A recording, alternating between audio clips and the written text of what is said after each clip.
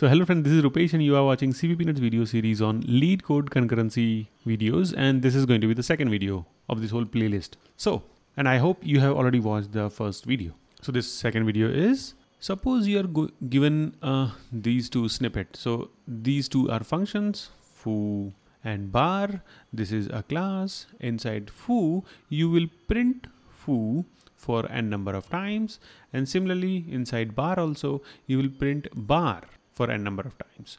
So these two are functions and what they are telling is the same instance of foo bar will be passed to two different threads meaning this n will be common for both. So they will be called on the same object so they will share this n meaning it is same for both and they're telling thread A will call foo while thread B will call bar and they're asking us to modify the program output into foo bar n times. So it's like if they have given one time, like if n is one, then it should print foo bar only one time.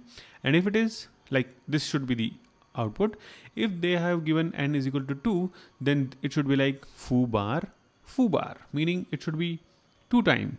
But the catch is always foo will come first and then bar will come and then it has to be foo again okay and as this is multi-threading you will just call them and give this n and you will try to print. Now you have to give the control over printing so that it is always in synchronization. So like one function will print foo and it always has to be the foo function which is going first.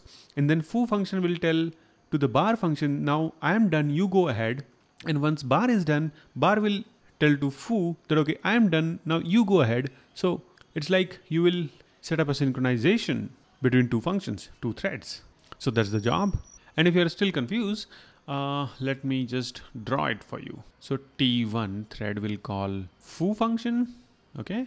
And T2 will call bar function, but they both function will be having one common object. Let's say foo bar is a class and this obj is the object. This object is common in foo and bar function. That's why that n you remember is common for both. And if you see this print foo will actually print foo and this print bar will print bar. So now let's start the synchronization.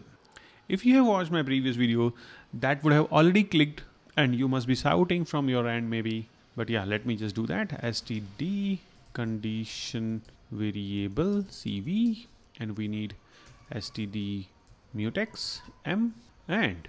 Now you have to tell that okay this thread will wait for the signal and that thread will wait for the signal. So let's uh, implement that mechanism. So std unique lock lk and we will use this common mutex for both and we'll use condition variable and we'll say wait and we'll give lock and we'll have to give lambda and this because we want one common variable inside this function. So if you don't know what this wait does, it's like I will wait for this or on this lock with this given mutex and if I will get any notification for this condition variable, I will wake up and check one condition. That's why it is called condition variable. I'll check this condition. If this condition is true for me, whatever the condition is, if that is true, then I will go ahead. If it is not, I'll go and sleep again.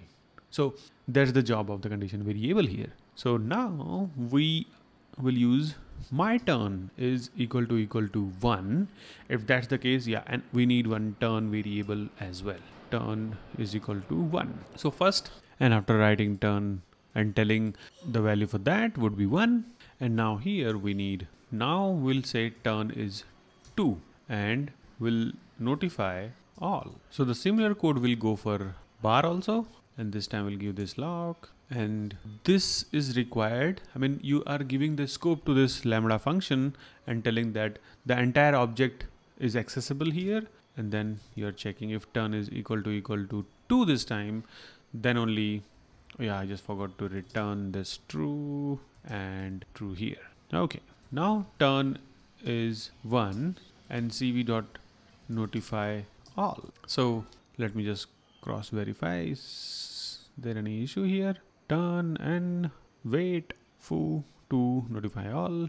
Let me just run this. Okay, so there is no issue. The test case is passing. Let me submit this. Okay, 63%. So you understood what happened, right? No matter what happens, in what order these functions are called, that is not a problem because the default value of turn in the beginning is 1.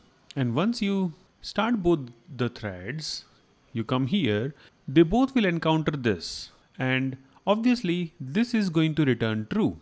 And then this will only happen first. So in that case, once it is printing foo, then only we are telling now it's your turn, meaning whoever is waiting for this particular thing to get 2 now we have initialized 2 we'll tell okay whoever is waiting now just wake up. I mean whoever is waiting on this particular condition variable wake up and check if your condition is true now. Now as there is only one thread waiting it will wake up and check this condition. And if it is true then it will do its job. And then now it is telling okay I will initialize it to 1 and obviously this for loop would have ended after this and it would have gone back and it will try to take the mutex and wait. Because turn is equal to equal to 2 till here it will wait. And now this notify will wake this thread and it will print foo and tell turn is 2 so now you can see right one thread is doing its job and notifying to other that okay now you go ahead I'm done. So there are many ways you can achieve this functionality. I find this way more intuitive because you have little flexibility in your hand. And as we saw a previous video that if you go by this method you can synchronize n number of threads by using just single turn variable. So i hope you enjoyed the video guys. Thanks for watching. I'll see you in the next videos. Bye bye take care. And yeah as always keep learning